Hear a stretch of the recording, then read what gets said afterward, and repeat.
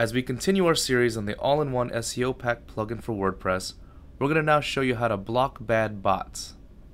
So to begin, go ahead and log into your WordPress dashboard. If you don't know how to do that, a pop-up will come up on the top right of the screen. Click that to go to our full guide on how to log into your WordPress dashboard.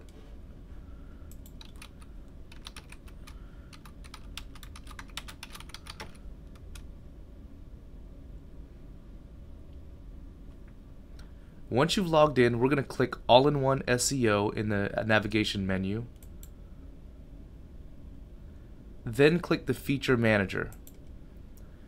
The first thing we're going to do is activate the bad bot blocker and we do that by scrolling down to the bad bot blocker tool here and clicking the activate button.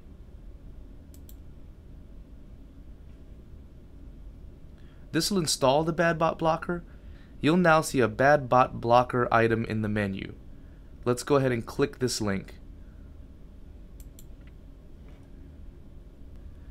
This is going to bring you to the main bad bot blocker page. You can choose whichever option you want to use by selecting the box. Some of them when you click them will actually drop down and give you additional options.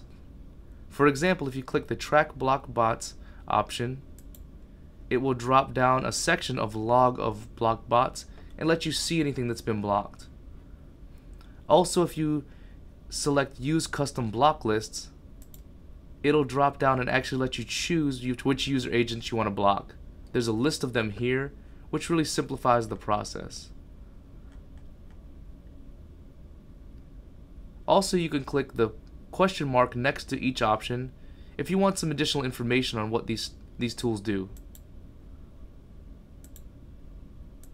Notice it gives you an explanation for each section. Okay, in this case, I'm going to check the first three, which is the block bad bots using HTTP, and the block referral spam using HTTP, and also the track block bots, which is already selected. Once you've chosen your own personal settings, click the Update Options button to save them.